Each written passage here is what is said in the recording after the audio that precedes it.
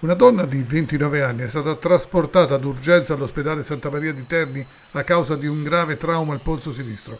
La paziente aveva riportato importanti lesioni vascolari, nervose e tendinee.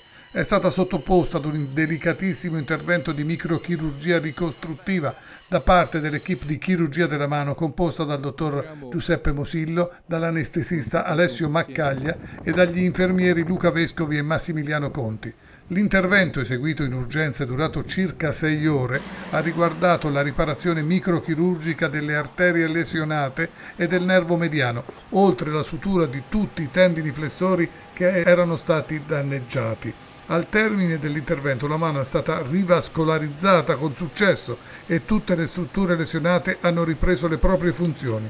Dopo una degenza di qualche giorno la paziente è stata dimessa e gode di buona salute. Questo intervento rappresenta un successo per l'equipe di chirurgia della mano dell'ospedale Santa Maria di Terni e dimostra la loro alta specializzazione in questo campo.